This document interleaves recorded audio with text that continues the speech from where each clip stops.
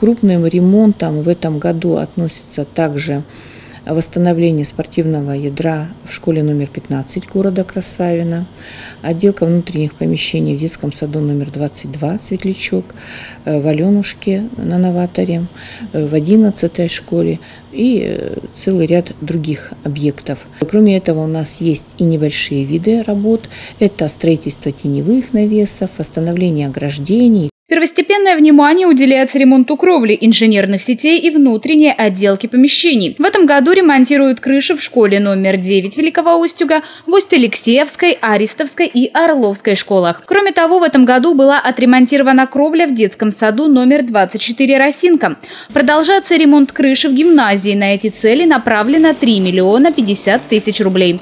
Подрядчик проведет здесь укладку утеплителя, сделает стяжку из бетонного раствора, а сверху появится новое двухслойное мягкое покрытие.